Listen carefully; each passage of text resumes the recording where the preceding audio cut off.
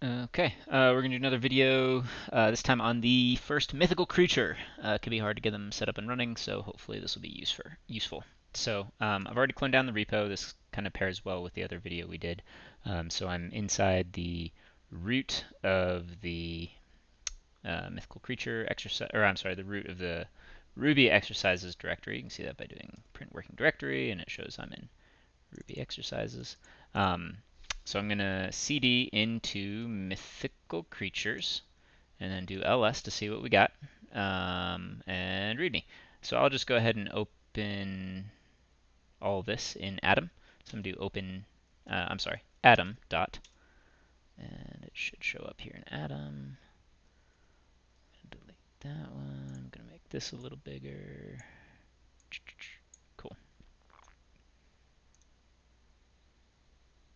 Uh, okay. Um, so we've got a README. I always recommend starting with a README. Um, my favorite, one of my favorite keyboard shortcuts for Atom is Command uh, backslash. It's key right above the Enter button. Um, it lets me toggle um, the sidebar, so super useful because the sidebar takes up a ton of space. So it's there. Now it's gone. Uh, so they're basically going to say, talk about how to run it. We're going to cover that in a moment. And then they say the suggested order is start with unicorn. Um, so I'm going to start with unicorn. So I'm going to bring the sidebar back out. Um, I'm going to open up the test directory and open up unicorn test. And then I'll close the sidebar. Um, so this is the unicorn test that we're going to make pass in just a moment. So to run it, uh, we're going to do uh, ruby test. So we have to find this file and do ruby that file. So it's going to be ruby. Um, if I hit tab twice, because I love the tab, um, it shows you what things are available to you. Um, and so Ruby test, I hit tab again and it finishes that. And then if I hit tab again, it shows me everything that's inside of the test directory, so I can look and not have to guess. So there's unicorn test, so I'm going to hit U, hit tab again, and it finishes the rest of that. Cool. Enter. We're running it. Uh, gem conflict error. Ah, um, RVM. Ignore this part. RVM use 2.5.0. Uh, I had the wrong version of Ruby underneath the hood. So we're running it. Um, cannot load such file. So this is the error that I'm getting. Um, so if you run this file, so this was ruby test unicorn test.rb, cannot load such file, uh, unicorn load error.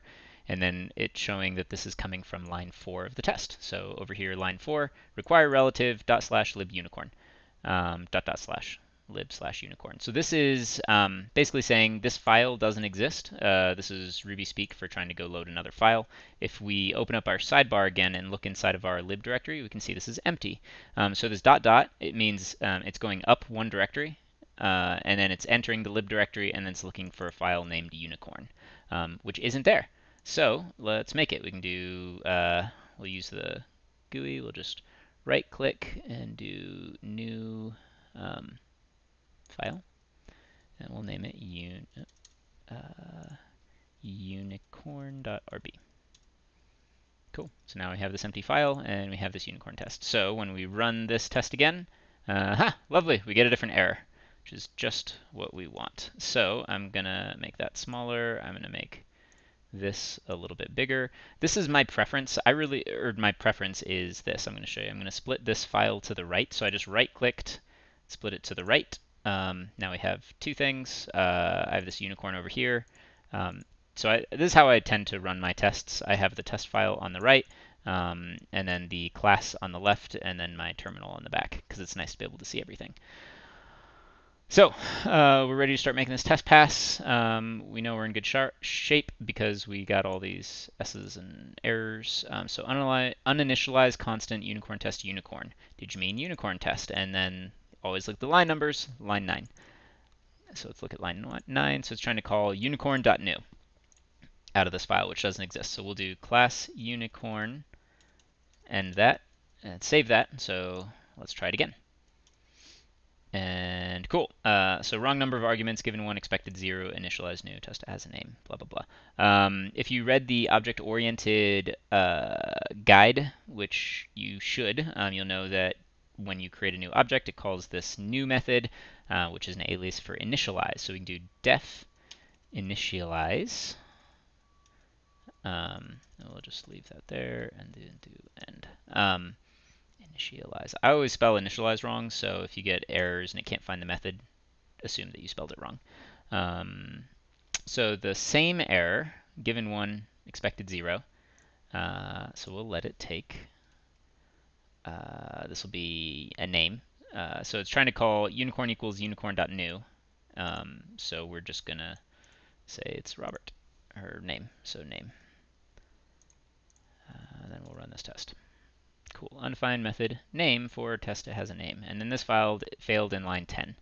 So that meant this line passed, and then in here it failed, and it says um, undefined method name. So when it called unicorn.name, uh, that wasn't a known method. So um, the way you can create, we've, we've, got these attr reader things, attr writers. So we're going to do an attr reader name.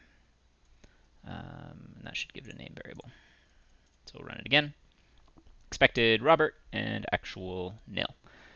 So uh, you'll probably be mentally screaming at me right now, you know, at name at name equals name.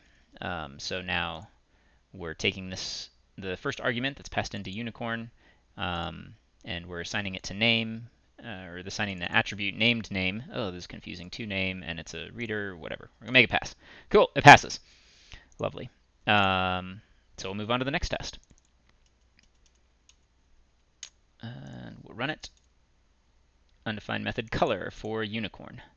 Makes sense because Okay, so also I'll point out a couple other things. These tests all run independent of each other, so when this test is running, um, all of this stuff is like not known to anything as an object that was created and then deleted. Uh, so we've got this new unicorn named Margaret, and we want to be able to assert equal white unicorn.color. Uh, right now we don't have a method for color. Um, so we could make this pass, so I'll, I'll make this pass cheaply uh, by def color and uh, undefined method color. Cool. So we'll run that because now we're going to get not like now we have a method named color and it's expected white and we got nil. Um, I cheat sometimes in here, so I'm just going to pass in white because the method always returns the last line of the the last line that's inside the method. So this will now return white. Uh, okay, so if you look closely, you'll see that this is now undefined method white question mark, uh, which is in fact distinct from a um, method name by the same name that doesn't have a question mark. So like def color white, we could do def color question mark, and and this could be um, foobar or um, xyz, and these are now two separate methods. Uh, so undefined method white question mark. Oh, right. So color, color. So I could do white question. Ah, I can't type. White question mark. And now we expected true, and we actually got XYZ. This thing. So um, this is not good code, and this is not what we're going to run with. Uh, we're going to make it pass. We're going to instantiate this. I wanted to have an attribute reader called color because that's something that's known to the object, like a, it has a name, it has a color, that makes sense. Um, and then we're going to have to take in an argument. Uh, well, we'll just assign color equals white for now. Um, so that means unicorn.color, oh, we need to add the color uh, attr reader. So unicorn.color will now call this method and it's going to return white. Uh, so this line is still going to pass um, and this line is still going to fail. Let's see if I'm right. Undefined method white, question mark. Cool. All right, so now we can add a def white again. And we want this to return true, right? Because unicorn.white question mark should return true. So I'm just stubbing this out. I'm doing this very uh, incrementally, and I know that this is not, like I'm not trying to jump straight to the correct conclusion at the end. Um, I'm just trying to kind of make the test pass. So this made the test pass. Great. Um, we'll leave that and then we'll fix it when we have to make this test pass. So test, it does not have to be white. Um, makes sense, so we'll run it and it's going to fail. Uh, wrong number of arguments given to expected one. So this dot new was called with two arguments. Barbara and purple, so a name and a color. So we want to update our initialize. We're going to take a color, and then we're going to just set color here. So at color equals color. And we run it, and we expected on line 23 true, but we actually got false. I'm sorry, we expected false, but we actually got true. So line 23, expected unicorn.white. Of course, when they call .white, it's going to come back true. Um, so this can't just come back. We can't hard code this to be true or false. Uh, we need it to look at something else and then decide what the answer is. So let's make at color equals equals white question mark. So if at color equals white, uh, that like um, true. Else false. End. So we did just a little quick true false if else um, checking for these things. So let's see how that does. Uh, wrong number of arguments, given 1, expected 2. Now this seems like the same error above, right? Given 1, expected 2, given 1, expected 2. Um, oh, I just made an error that I warn everyone to do. Read the freaking error message and don't fix something uh, that is actually the wrong thing. So what line is this breaking in? It's line 14 of the test. The last test is now breaking. These two tests were breaking um, when I made this test pass. So, uh, because these are only giving one method, and this now expects two, so we'll just set a default here. So color equals white. So this is how you set a default. If only one argument is passed, color will be equal to white. Otherwise, you can set whatever the color you want. So those all passed. Great. Um, I'm going to refactor this real quick. So we've got that. Um, oh, another one of my favorite keyboard shortcuts is Command Enter and Command Shift Enter. It moves the cursor one line up and down to a new line from where you're at. So where I was here, I'm in the middle, and I goes down and creates a new line. Uh, so we're, if color equals white, we want it to be true. So I'm going to say return true if color equals equals white. So this should make this test pass. Um, I bet this other, I bet one of our tests is going to fail. Yep, so failure here, expected false, actual nil. Uh, so this is never going to return true um, because it's it's going to return nil normally. So and then this return exits the method. Um, so I'll, I'll, show you that in a moment. Uh, so now we'll put false here, and now it'll pass is this method, if it gets hit, it stops the execution and just goes out with a true, and if it doesn't, we'll go to a false. Now, if I take this true off, um, I don't know what I feel like we're going to get an error because false is going to be kind of generated. I'm sorry, true is going to get generated if color equals white, but then the method is going to keep executing and it's going to hit false. Yeah, so expected true, actual false. So you can do a return to exit the method early if needed. So we'll run this again, and it passes. Cool. All right, last test. Uh, I'm going to delete all this now.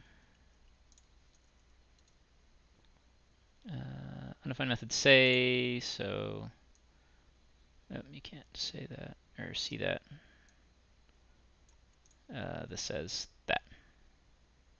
So we obviously need a def say end. Uh, say is going to take an argument uh, message.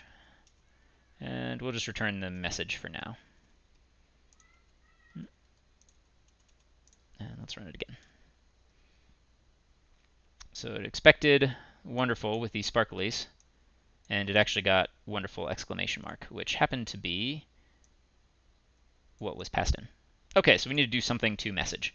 Um, we could do message plus uh, we're going to see if this works. So I'm just going to do strings plus the message plus more strings, and let's see what this does. Cool. So that's basically what we expected. Uh, so now I can just paste in this here and this here, and this should pass. Cool. Another way of doing this, if you're curious, we'll comment that out, do a new line, is with string and interpolation. So you can do message and then